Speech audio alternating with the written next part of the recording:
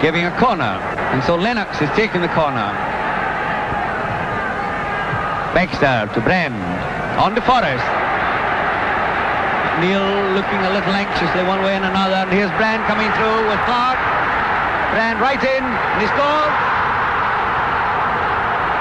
He scores after 20 minutes of the second half to make the score Rangers 2, Celtic 1. There you are, one into another in a split second.